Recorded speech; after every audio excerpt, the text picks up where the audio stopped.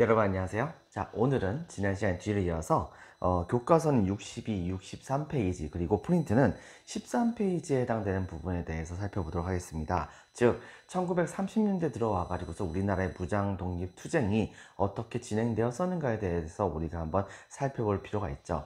자 지금부터 지난 시간 뒤를 이어서 한번 우리나라의 민족 독립 투쟁에 대해서 무장 독립 투쟁에 대해서 알아보도록 합시다. 자, 먼저 내용을 보면 다음과 같습니다. 자, 첫 번째, 중국 함께 항일 무장 투쟁을 전개하다. 최근에 들어와가지고 우리나라는 지금 중국하고 좀 사이가 좀 안 좋긴 하죠. 자, 그런데 솔직히 얘기한다고 한다면 이때 이때 당시에 중국은 우리나라를 좀 많이 도와주는 편에 해당이 되었다 볼 수 있었어요. 어, 초창기에는 그러지 않았었지만은 어, 특히 이제 그 대한민국 임시정부의 그 한인 애국단에 바로 이제 윤봉길 의사와 이봉창 의사의 폭탄 의거가 있고 나서부터는 어, 이때 당시 중국인들은 우리나라의 독립운동에 대해서 긍정적인 모습을 많이 봐주려고 한 노력을 하게 됩니다. 제일 중요한 것은 우리나라의 독립군들의 상당수가 전부 다 중국의 영토 안에서 있다 보니까 자연스럽게 바로 중국군이 어, 중국의 도움이 주어지게 된다고 한다면 우리나라도 어, 일본과 싸우는데 훨씬 더 도움을 많이 받을 수 있는 것이라 볼 수 있는 것입니다. 때문에 실질적으로 이미 만주 지역에서부터요. 바로 우리 민족 사람들도 많이 살고 있긴 했었지만 중국 사람도 많이 살았을 거 아니에요. 바로 그 지역에 살았던 사람들이 같이 연합을 해가지고서 그래서 이제 일제의 침략에 대해서 이제 그 같이 힘을 합쳐서 싸움을 벌이는 모습을 보여주게 됩니다. 자, 먼저 보면은 다음과 같습니다. 중국군과의 연합. 1930년대 초에는요, 예전에 선생님이 얘기했다시피, 바로, 어, 삼부 통합 운동이 벌어지게 돼요. 그래서 혁신의회와 또 하나는 이제 국민부라고 하는 그런 단체가 만들어지게 되었다 볼 수 있겠죠. 특히 이제 이때 당시에 이 혁신의회의 경우에는 그 혁신의회 이후에 바로 이제 그쪽 계열 쪽에 해당되는 한국 독립군이라고 하는 군대가 만들어져요. 이제 지청전이라고 하는 분이 이때 당시에 이 한국 독립군을 이끌었었죠. 군대 숫자는 한 몇백 명 정도, 한 오, 많으면 이제 500명 정도까지 해당되는 군대 숫자긴 했었지만 이분들은 이때 당시에 어, 말 그대로 산전수전을 다 겪었던 분들이에요. 근데 그들이 이때 당시에 바로 이 어, 항일 독립 전쟁을 벌이고 있었던 중국 군과 같이 연합을 하게 됩니다. 그렇게 되는 이유 중에 하나가 바로 뭐냐면 바로 이 만주 지역에 바로 여러분들 알다시피 일제가 만주 사변을 일으키게 되면서 만주 지역에다가 만주국이라는 나라를 세우게 되잖아요. 하지만 이 만주국은 일제의 괴뢰국에 해당되는 나라였지 않습니까? 자 그러다 보니까 이때 당시에 어, 중국인들은 이것에 반대해서 어, 각 지역에서 봉기를 일으키는 경우가 많았었는데 바로, 바로 이들과 같이 이 독립군이 연합을 했던 것이라 볼 수 있겠습니다. 이분들은 이때 당시에 여기 보이다시피 쌍성본 전투라든가 그 다음에 대전자령 전투 같은 그런 전투에서 적극적으로 이제 싸움을 벌이는 모습을 보여주게 됩니다. 자 그리고 나중에 이제 이분들이 열심히 활약을 정말 많이 했었는데요. 문제는 뭐냐면 나중에 어, 이분들이 한 500명도 넘게 이렇게 모이게 되었을 때 갑자기 대한민국 임시정부 쪽에서 한국 광복군을 만든다는 그런 얘기가 나오게 되었던 것이에요. 자, 그렇기 때문에 이때 당시에 여기 나왔었던 이 한국 독립군 중에서 가장 핵심 멤버라 볼 수 있는 한 40명 정도가 당시에 이 충칭 지역에 정착을 했었던 대한민국 임시정부에 같이 가담을 하게 됩니다. 문제는 모든 분들이 거기에 같이 따라가지는 못했다는 거죠. 결과적으로 남은 분들은 이후에 계속해서 일제와 싸움을 벌이거나 혹은 전사하거나 이건 혹은 이제 실종되거나 하는 그런 일을 겪게 되면서 점차 점차 그 힘이 약화되었다고 볼 수가 있겠습니다. 거기에 비해서 조선혁명군의 경우에는 좀 장난 아니었었어요. 이분들의 경우에는 최대 그 군대 수가 많을 때가 거의 한 만 명 정도가 되었다라고 얘기할 수 있을 정도로 그 규모가 굉장히 강력했었거든요. 근데 그들이 이때 당시에 바로 이쪽에 있었던 이 중국군과 같이 연합을 해 나가는 모습을 보여주게 됩니다. 이때 당시에 이 조선혁명군은 여러 명의 그 지휘관들이 있었었지만 그 중에서 제일 유명했던 사람 중에 한 명이 바로 이제 그 양세봉 장군이라고 하는 사람이 있었어요. 이분들이 중심이 돼가지고서 바로 여기 보이다시피 영릉강 전투 그 다음에 어, 홍경성 전투와 같은 전투에서 일제에게 크게 승리를 거두는 모습을 보여주게 됩니다. 하지만 일제는 바로 그렇게 쉽게 호락호락 무너지는 나라는 쉽게 그렇게 호락호락 무너지는 세력은 아니었던 것이죠. 이들은 이때 당시에 조선혁명군과 바로 치열한 전투를 벌이는 과정 중에서 이 양세봉 장군을 전사시킵니다. 그리고 그 이후엔 바로 이 조선혁명군도 여러 차례에 걸쳐서 일제와 싸움을 벌였지만 시간이 흘러가면 흘러갈수록 만주 지역을 장악하고 있었던 일제에 의해서 점차 점차 그 힘이 약화가 될 수밖에 없던 것입니다. 하지만 남아 있었던 어, 나머지 분들의 경우에는 이후에도 나중에 이제 사회주의자들과 같이 연합을 해가지고서 일제와 전투를 벌이는 모습을 보여주기도 했던 것이죠. 자, 그리고 이것이 1930년대 중반으로 들어와서는 어, 좀 더 상황이 달라지게 됩니다. 즉, 사회주의자들과 그 다음에 중국의 공산당이 같이 연합을 한 거예요. 만주 지역을 확실하게 장악했었던 일제는 어, 바로 이, 지- 이 지역에서 일제의 지배에 저항하는 세력에 대해서 엄청나게 탄압을 많이 하는 건 측면이 있었겠죠. 근데 같이 탄압을 받는 존재에 해당됐었던 이때 당시에 바로 이 사회주의자, 한국의 사회주의자 독립운동가들과 그 다음에 중국 공산당들은 당시에 같은 입장이잖아요. 그러다 보니까 일제와 같이 싸우기 위해서 둘이 같이 연합을 합니다. 연합을 해가지고서 이때 당시에 만들었던 그 연합 군대 이름이 바로 이 동북 항일 연군이에요. 근데 이 독립 어, 이 동북 항일 연군의 한 조선인 부대 출신에 해당되는 그런 아, 조선인 출신에 해당되는 부대가 어, 어느 날 갑자기 우리나라로 우- 국경선을 넘어서 우리나라의 보천보러 가는 곳을 공격하는 그런 사건이 벌어지게 됩니다. 근데 이 전투가 우리나라에겐 굉장히 커다란 충격이었었어요. 왜냐하면 바로 1920년대 초반에 이 독립군이 우리나라를 침공했을 때하고 이때 당시에 바로 독립군이 우리나라를 쳐들어왔을 때하고 완전 상황이 다른 것이었거든요. 왜? 만주 지역을 일제가 장악했을 때하고 일제가 장악하지 못했을 때하고의 천지 차이, 상황은 완전히 천지 차이라 볼 수 있는 것이죠. 그런데 이때 당시에 독립군이 우리나라의 어, 영토로 들어가 가지고서 일제의 어, 일제의 군대를 공격하는 모습을 보여주게 됐었으니까. 근데 들리는 소문에 의하면 이때 당시에 바로 이 조선인 부대를 이끌고 있었었던 그 군대가 바로 군대의 우두머리가 바로 굉장히 뛰어난 전략을 갖고 있었던 조선인이었다는 얘기가 있었습니다. 근데 그 조선의 조선인의 이름이 바로 누군지 아세요, 여러분들?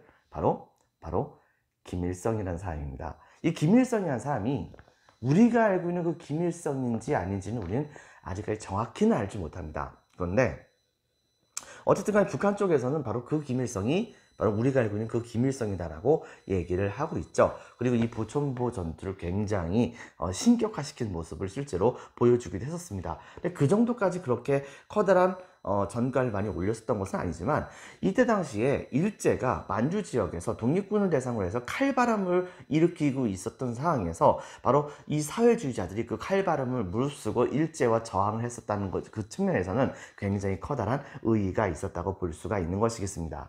자, 그 다음에 이번엔 두 번째 중국의 관내에 대해서 한번 살펴보도록 할게요. 중국 관내에서는요, 바로 조선 의용대라고 하는 군대가 만들어지게 됩니다. 이때 당시에 어 바로 요쯤에 와가지고서 저 조선 민족 혁명당이라고 하는 단체를 만들어요. 그리고 이 김원봉 선생 기억나죠, 여러분들? 김원봉 단 김원봉 선생이 만들었었던 대표적인 어 1920년대의 암살단을 뭐라고 합니까? 바로 조선 의열단이라고 하죠. 근데 이분들이 바로 어, 뜻없는 어, 의미 없는 죽음을 하지 않고 일제와 정말로 총칼 들고서 싸워서 물리치는 방식으로 투쟁을 해야겠다고 생각을 해가지고서 그래가지고서 이때 당시에 전반적으로 조선인 출신의 군대를 양성하려고 생각했었습니다. 바로 그 모체에 해당됐었던 조선 민족 혁명당을 구성하고 김홍범 선생은 당시에 그 휘하에 조선 의용대라고 하는 군대를 이때 당시에 만들게 돼요. 그리고 이분들은 당시에 중국군과 같이 연합을 해가지고서 여러 차례에 걸친 전투를 벌이게 됩니다. 근데 문제는 뭐냐면 이 군대가 생각보다 그 숫자가 아주 많았다고 볼 수 있는 건 아니었었어요. 몇백 명 수준에 해당됐었거든요. 근데 이때는 사실 중국이 여러분도 알다시피 윤봉길 의사의 그런 사건이 있은 이후의 상황입니다. 그러다 보니까 이때 당시에 임시정부를 도와줬었던 중국 국민당 정부는 임시정부뿐만이 아니라 바로 한국의 거의 대부분에 해당되는 무장 독립 단체들을 전부 다를 지지를 지원을 해주는 모습을 보여줬던 것이에요. 자, 그리 근데 이제 문제는 뭐냐? 그 숫자가 너무 적잖아요. 그리고 그들을 금방 없애버리게 된다고 한다면 어, 전투하는데 소멸시켜버리게 된다고 한다면 그런다고 한다면은 바로 조선인들을 중국 편으로 끌어들일 수 있는 하나의 매개체가 사라지는 것이라 볼 수 있는 거 아니겠습니까?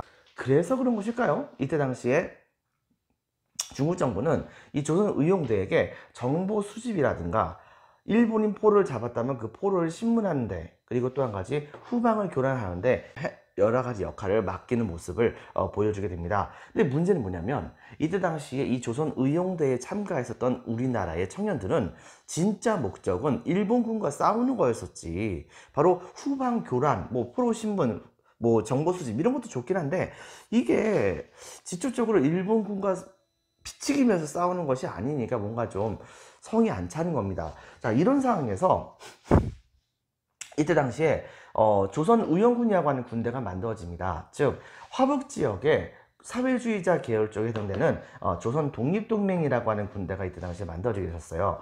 이 조선 의용대는 이제 민족주의 계열 쪽이라 볼 수 있겠습니다. 정확히 얘기한다고 한다면 민족주의 계열과 사회주의 계열이 같이 합쳐진 쪽이라 볼 수 있었었는데 문제는 뭐냐? 이때 당시에 이 조선 독립 동맹이라고 하는 단체는 지속적으로 이 중국 공산당과 같이 연합을 해가지고서 일본군과 열심히 싸우는 모습을 보여줬었거든요.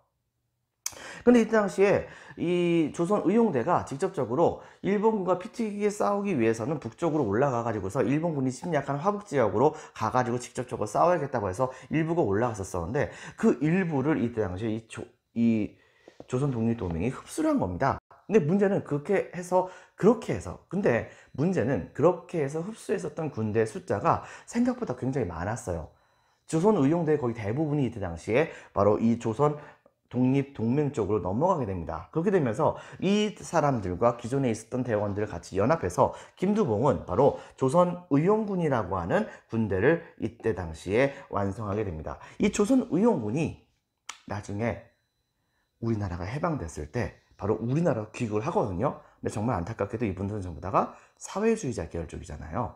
그러다 보니까 이분들은 이 당시에 바로 어, 현재의 그때 아, 그때 당시에 어, 우리나라가 해방된 당시에 북한 지역으로 많이 넘어가 가지고서 지금 현재 어, 북한의 인민군의 모태가 되었다 볼 수가 있겠습니다. 바로 이런 식으로 해가지고서 조선 의용군이라고 하는 군대가 이때 당시에 만들어지게 됩니다. 하지만 이제 문제는 뭐냐? 사실상 지도부는 김원봉 쪽이었었어요. 김두봉이 아니고 김원봉이었단 말입니다. 여러분들 김원봉. 자, 그런데 이분들이 이때 당시에 바로 이 나머지 거의 대부분에 해당하는 조선 의용군의 아, 의용대에 대한 통제력을 잃어버리게 되자 어, 이, 이들은 여기에 같이 어, 참여하려고 생각하지 않고 이때 당시에 어, 대한민국 임시정부 쪽으로 이제 가담을 하게 됩니다. 당시 대한민국 임시정부는 아, 한국 광복군이라고 하는 군대를 만들었었어요. 근데 근데 문제는 뭐냐? 그 초창기에 그 군대 숫자는 생각보다 그 숫자가 되게 좀 많이 적었었던 편에 해당이 됩니다. 그런데 이때 당시에 바로 김원봉의 조선 의용대가 같이 가담하게 되면서 그 군대 숫자가 굉장히 좀 많아지게 됐거든요. 생각보다도. 그러다 보니까 이때 당시에 바로 비로소 우리나라의 한국 광복군은 나름대로 군대로서의 역할을 할 수 있을 정도의 규모를 이때 당시에 어, 갖추게 되었다 볼 수가 있겠습니다. 자, 그렇다고 한다면 이번에는 바로 한국 광복군의 활약에 대해서 한번 살펴볼까요? 자, 한국 광복군의 경우에는 다음과 같습니다. 먼저 임시정부에 대해서 우리가 얘기할 필요가 있어요. 즉, 이때 당시에 이 임시정부는 어, 윤봉길 의사의 의거 이후에 중국 국민당 정부에게 굉장히 적극적으로 지원을 받습니다. 하지만 일제가 바로 중국을 대상으로 해가지고서 선전포고를 해버려요. 자, 이렇게 되게 되면서 중국 국민당 정부는 계속해서 일피해서 도망을 다녔었죠. 어, 이때 당시에 중국 국민당에 중국의 중국의 수도가 바로 난징이었었는데 이 난징을 일제가 어, 점령하고 나서 거기에서 대대적인 학살을 일으켰었던 사건은 굉장히 유명한 사건입니다. 난징 대학살 같은 것이 여기에 포함된다 볼 수 있겠죠. 하지만 결과적으로 이때 당시에 그런 생지옥에 바로 이 임시정부가 같이 있을 수는 없었기 때문에 이 임시정부는 어쩔 수 없이 중국 국민당 정부가 피난한 쪽을 그대로 따라다닐 수밖에 없는 어, 처, 처지에 어, 빠져버리게 됐었어요. 그렇기 때문에 그 임시정부의 요인들이 어, 계속해서 뭉쳐 있다는 것 자체가 거의 기적이라고 얘기할 수 있을 정도에 해당되었다 우리는 말할 수가 있을 것입니다. 자, 그런데 문제는 뭐냐? 드디어 중국 국민당 정부가 충칭이라고 하는 지역에서 정착을 하게 된 거예요.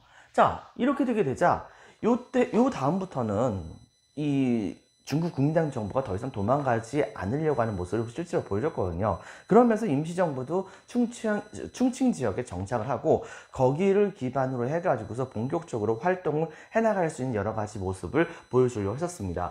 먼저 본다고 한다면 이때 당시에 이 임시정부는 기존에 있었던 여러 개의 조직들을 군더더기를 전부 다 빼고 그 다음에 일제와 직접적으로 싸울 수 있는 그리고 군대를 조성해서 음, 대응할 수 있는 그런 형태로 적합하게 어, 일- 임시정부의 조직을 개조를 합니다. 자 그렇게 한 다음에 이때 당시에 우리나라의 통치 이념으로서 볼 수 있는 사상이라고 하는 것이 딱히 있었던 건 아니었거든요. 근데 이때 당시에 바로 조소왕 선생이라고 하는 분이 계세요. 대표적인 독립운동가이셨던 분이죠. 이분이 나중에 안타깝게도 6.25 전쟁 이후에 북한으로 이제 납북되시긴 하셨는데 어쨌든 이때 당시 이 조소왕 선생은 바로 이른바 삼균주의라고 하는 것을 내세우세요. 삼균, 즉, 세 가지 부분에서 백성들, 국민들을 전부 다 균등하게 대우해줘야 된다. 첫 번째가 무엇이냐? 정치적인 부분에서 균등하게. 그 다음에 경제적인 부분에서 균등하게. 그리고 모든 사람, 우리나라 사람들이 가장 어, 중요시 여기는 분야죠. 바로 교육이라고 하는 부분에서 균등하게 모든 사람들을 대우를 해줄 수 있어야 한다는 원칙을 세우고 실제로 임시정부의 모든 국가의 통치 정책 전부 다를 이런 삼균주의 사상에 입각해 가지고서 어, 시행을 해 나가려고 하는 모습을 보여주기도 했었습니다. 그리고 바로 임시정부가 이미 1919년서부터 계속해서 생각해 왔었던 바로 임시정부 직할의 군대를 실질적으로 만들게 되죠. 이 군대 이름이 바로 어, 이 한국 광복군이라고 하는 군대입니다. 이 광복 한국 광복군은 좀 전에 선생님이 얘기했다시피 여기 있었던 한국 독립군 출신에 해당됐었던 지청전을 비롯한 한 40명의 그런 부대원들이 여기에 가가지고서 한국 광복군 처음 만들어졌을 때 참여를 했었고 이후에 김원봉의 군대가 같이 합류하게 되면서 그 규, 규모가 생각보다 좀 어, 약간 좀 있었다고 얘기합니다. 하지만 그래봤자 몇백 명밖에 안 되긴 했었어요. 자, 근데 이제 문제가 뭐가 생기게 되냐면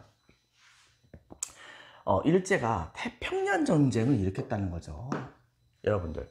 일제가 바로 미국에 대항해서 태평양 전쟁을 일으키면서 자기네들의 힘만 가지고서는 저항이 불가능하게 되다 보니까 당시에 우리나라의 많은 젊은이들을 어, 바로 천황폐하를 위해서 죽어라 뭐 이렇게 얘기를 하면서 바로 그들에게 어, 군대를 가도록 강요를 했단 말입니다. 하지만 여러분 생각해 보세요.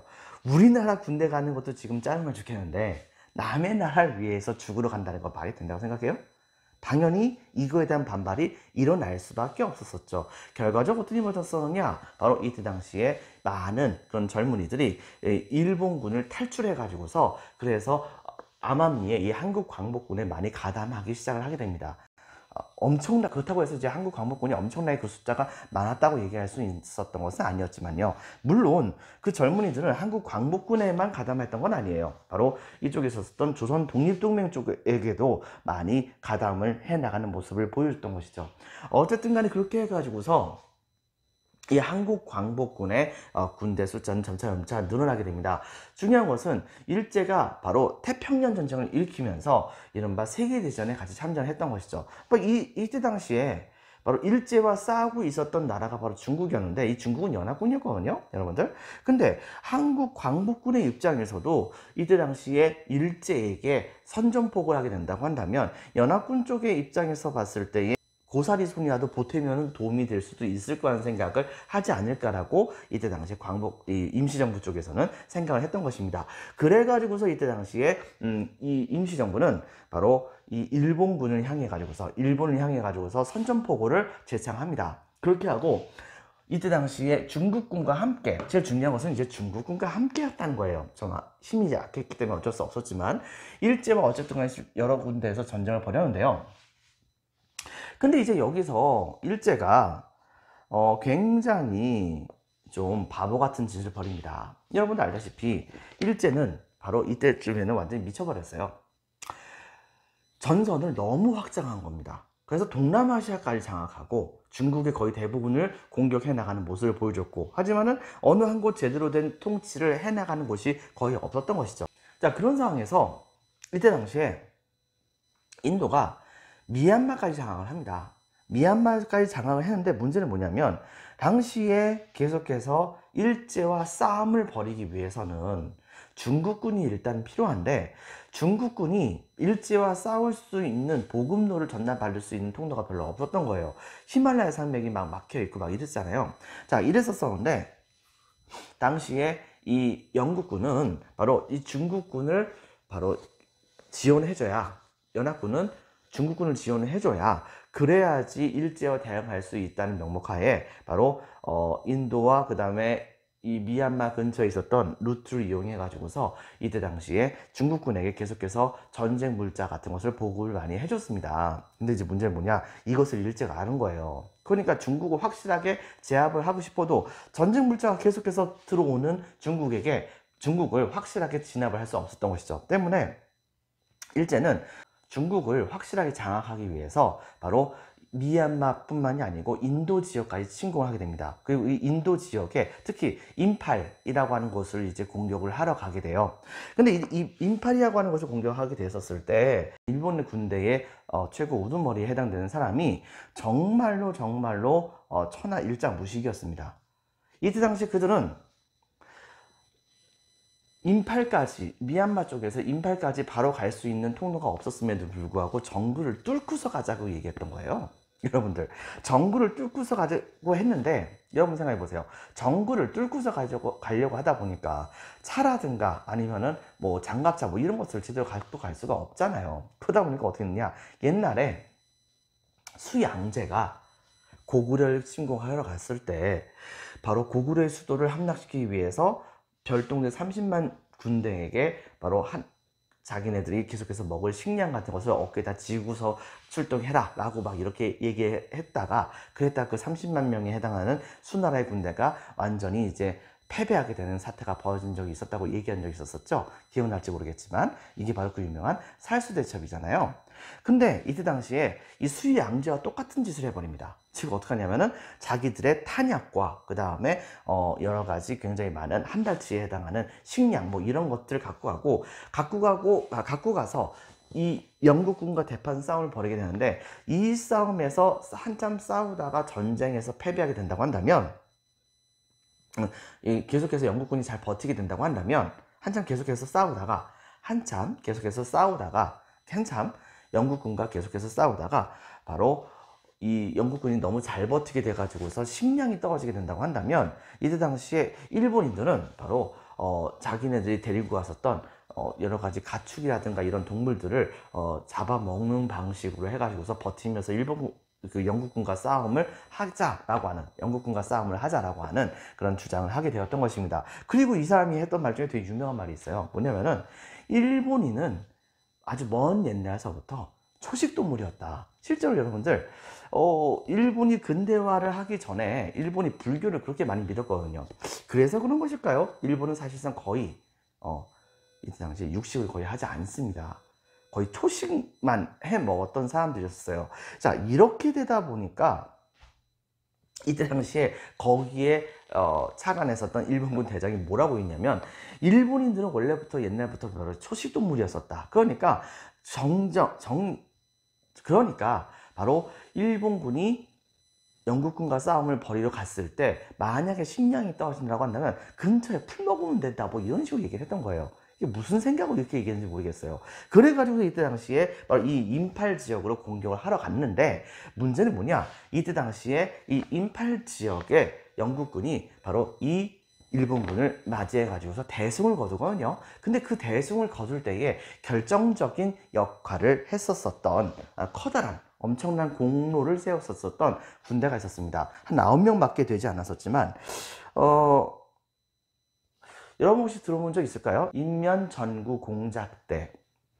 이 인면전구 공작대가 바로 임시정부가 연합군 쪽에서 특히 영국군 쪽에서의 요청을 받아들여 가지고서 우리나라에 바로 나름대로 여러 가지 언어를 할 수 있었었던 어, 8명, 그러다가 나중에 9명까지 이르는 어, 병- 병사들을 인도 미얀마 전선으로까지 이때 당시에 파병을 했던 것입니다. 파병을 했는데 이분들이 이때 당시에 했었던 것은 적어도 이분들은 딴 거 몰라도 일본어는 알잖아요.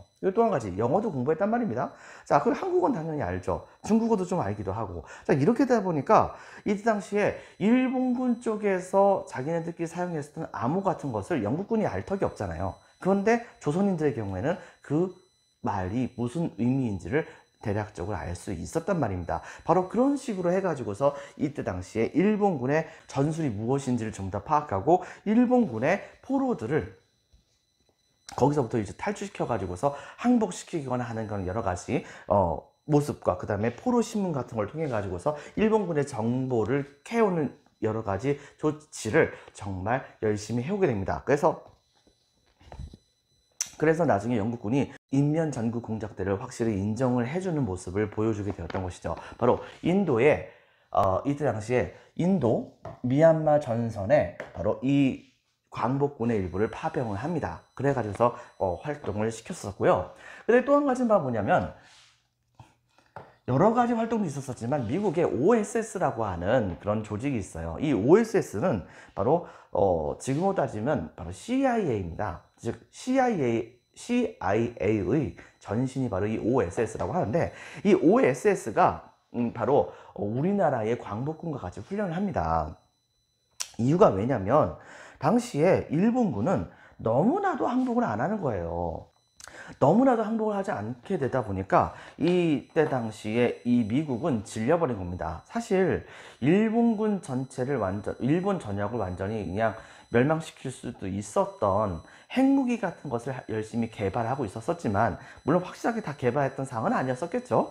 바로 이것이 일단 반드시 성공하는 법도 없고 두 번째는 또한 가지 뭐가 있었느냐면은 바로 어 일본군이 섬 하나하나를 점령하는데 정말 미친 듯이 저항을 했거든요. 미친 듯이 저항을 했었기 때문에 이 일본군에 질렸었던 미국은 일본군이 확실하게 항복할 수 있는 좋은 방법이 뭐가 있을까 곰곰이 생각했는데 그때 눈에 띄었던 사람들이 바로 누구냐면 일제에게 저항하는 한국 광복군이었던 거예요.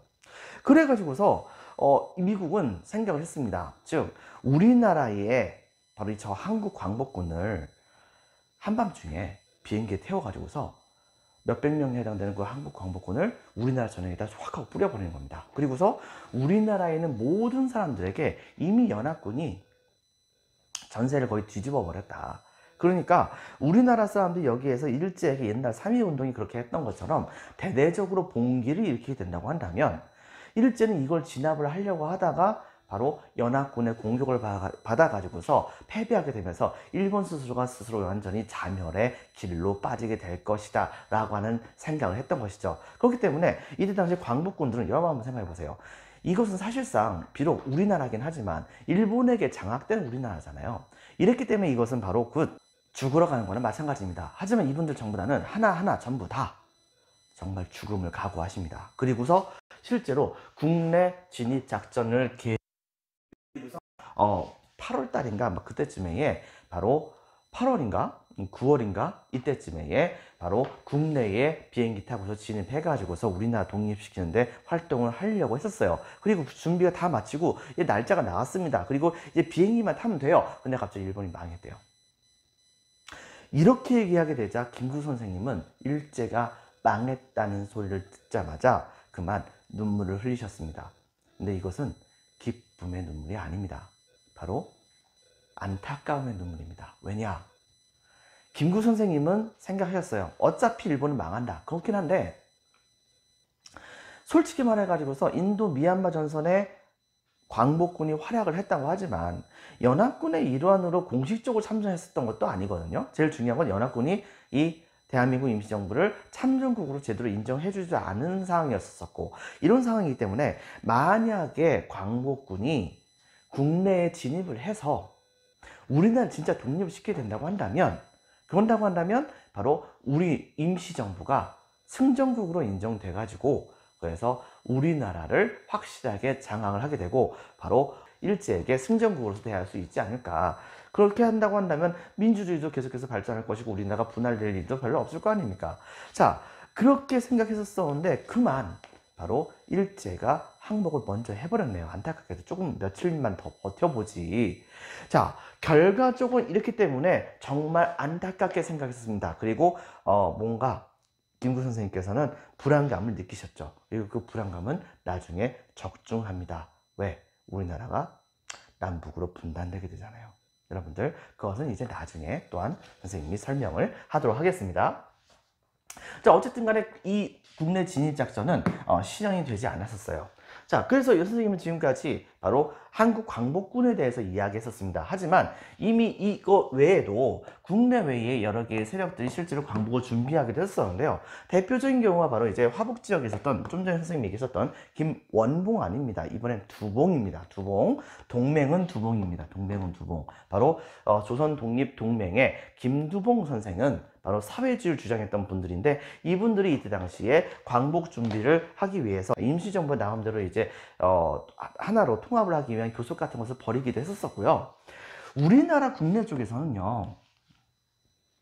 바로 임시정부에 같이 참여하기도 했었었던 여운현 선생이 국내에서 활약을 하시고 계셨었는데 생각을 해봤을 때 지금 현재 일제가 계속해서 밀리고 있었다는 것을 파악을 한 거예요.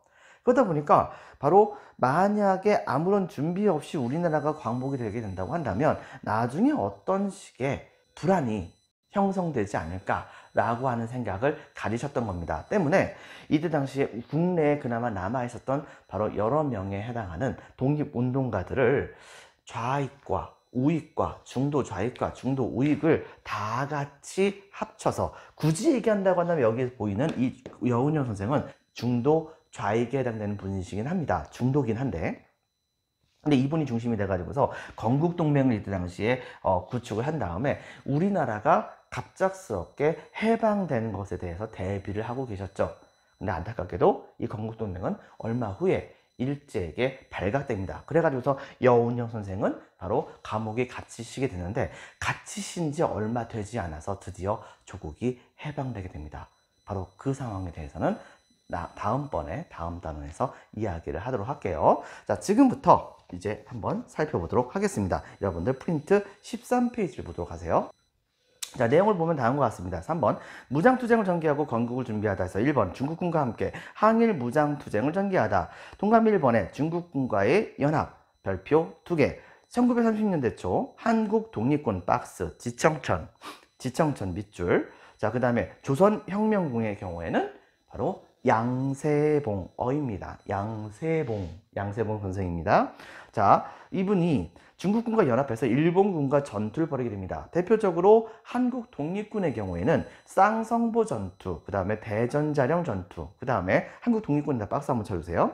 자, 영릉강 전투와 그 다음에 홍경성 전투에서는 빈칸에 적겠습니다. 조선 혁명군. 근데 문제는 뭐냐? 나중에 일제 대륙 침략이 더욱 심해지게 되자 여러분들 알다시피 바로 어, 초창기에는 만주사변 그러다가 중일전쟁 이렇게 하면서 대륙 침략이 점점점 심해지게 되잖아요. 이분들이 활약할 수 있는 공간이 줄어들게 됐, 됐단 말입니다. 그러다 보니까 만주 중심으로 해서 활약했던 이분들은 점차점차 중국의 관내 지역으로 즉 중국의 본토 지역으로 들어가서 거기에서 이제 활약을 하시게 되죠. 남아 계신 분들은 끝까지 저항하다가 돌아가신 분들이 그렇게 많긴 했었지만 말이죠. 자, 그 다음에 1930년대 중반 별표 하나 자, 사회주의 인사들이 중국 공산당 군과 연합 밑줄 항일 유격 활동 박스입니다. 이때 당시에 바로 이 항일 유격 활동을 벌였을 때에 활동에 있었던 중국군과 그 다음에 조선인, 중국인과 조선인의 연합 군대가 바로 동북 항일 연군이었는데요. 이때 당시에 빈칸이 적혔습니다. 김일성, 김일성 등과 같은 그런 사람들이 보천보 전투 같은 걸 통해 가지고서 보 천보 전투입니다. 이런 전투를 통해 가지고서 어, 아직까지 무장 독립 투쟁이 살아있음을 보여주게 했었습니다. 자, 그 다음에 별표 하나. 중국 관내에서는요, 조선 의용대. 자, 조선 의용대 박스. 둘 다 중요합니다. 별표 하나 반씩 쳐주세요. 조선의용대 박스. 김원봉 적어주세요. 김원봉 조선의열단의 우두머리였었죠. 바로 김원봉이 조선민족혁명당 창당 후 빈칸에 적혔습니다. 조선의용대. 조선의용대를 창건했고 자 동감 1번, 동감 2번 중국군과 연합하여 일제에 대항했습니다. 그리고 동감이 3번 정보수집, 포로신문, 후방교란 등의 업무를 담당했습니다. 다만 직접적으로 싸우진 거의 못했다는 문제가 있었었죠. 어, 여기에 열받았던 여러 명의 조선 의용군들이 당시에 중국의 화북 지역을 건너가서 이 사회주의자 주- 계열에 해당됐었던 조선 독립동맹에 가담을 하고 이분들이 중심이 돼 가지고서 일제와 직접되고 총칼을 들고서 싸우는 이른바 조선 의용군이 이때 당시에 만들어지게 되었던 것입니다. 별표 한 개 반 조선 의용군 박스 화이베이 화북 지역에 있는 어, 사회주의 계열의 밑줄 쫙 치고 빈칸을 적겠습니다. 조선 독립동맹 조선 독립 동맹 아입니다. 예, 김두봉 선생의 자, 조선 김두봉 선생인데 바로 조선 의용대 대부분 흡수하여 빈칸을 적겠습니다. 바로 조선 의용군 조선 의용군 의용군에다 박스 한번 쳐주세요. 결과적으로는 의, 김원봉을 비롯한 나머지 조선 의용대는 자 박스 치겠습니다. 한국 광복군 한국 광복군에 참여하게 됩니다. 자, 자, 그 다음에 14페이지에 바로 2번 한국 광복군이 활동하고 독립국가 건설 준비하다에 대한 내용을 보면 다음과 같은 것을 우리가 찾아볼 수가 있겠습니다. 첫 번째 별표 하나 찍겠습니다. 임시정부의 개편. 자, 중국의 일제의 중국 침략 바로 중일 전쟁으로 밑줄 치겠습니다. 중국 국민당 정부를 따라 이동 밑줄. 그 다음 충칭에다 동그라미. 충칠 정장 이후에는 본격적으로 체제를 정비하자. 동그라미 1번 조직과 체제 정비. 동그라미 2번 조소왕 조소왕 선생의 빈칸에 적겠습니다. 삼균주의 삼균주의 가로 닫고 삼균주의 박스 자 정치, 경제, 교육의 균등을 주장하는 삼균주에 입각하여 건국 강령을 발표하게 됩니다. 그리고 이때 당시에 만주에서 넘어섰던 독립군들을 기반으로 해서 드디어 광복군을 창설하시게 되죠. 이 광복군의 우두머리는 동그라미 3번 지청천, 지청천 장군이었습니다. 이 분을 총대장으로 한 빈칸을 적혔습니다. 한국 광복군 이것을 차, 이것을 창설하게 됩니다. 그러다가 나중에 동그라미 4번 김원봉의 조선 의용대가 여기에 같이 가담하게 되면서 그 군사력이 훨씬 더 강화되었다 볼 수 있겠죠. 그 다음에 동그라미 2번 별표 하나 태평양 전쟁 이후에는 동그라미 1번 연합군, 연합군의 일원으로 참전하여 중국과 함께 일제와 전쟁을 벌이게 됩니다. 일제에게 실제로 선전포고를 한 거죠. 그리고 영국을 도와서 동그라미 2번 인도 미얀마 전선에 참여했었고 동그라미 3번 미국의 OSS와 함께 훈련하여 국내 진입작전, 국내 국내 진입작전 이런 계획을 준비하게 됩니다. 하지만 일제가 금방 항복해버리는 바람에 이게 안타깝게도 실현되지 못했었죠. 하지만 자, 동그라미 3번 별표 하나 국내외에 광복 준비하는 세력도 있었으니 첫 번째가 동그라미 1번 바로 화이베이 화북 지역에 아까 전에 얘기했었던 사회주의 계열 쪽의 조선 독립동맹 김두봉 선생의 그리고 동그라미 2번 국내에서는요 바로 좌우 합작 계열에 해당했었던 바로 조선 건국 동맹이라고 하는 빈칸에 적혔습니다. 여운형 여운형 선생의 바로 조선 건국 동맹이 이때 당시에 건국을 준비하는 모습을 갖춰주게 됩니다. 자, 여러분들 수고 많으셨습니다. 오늘은 여기까지 하도록 할게요. 감사합니다.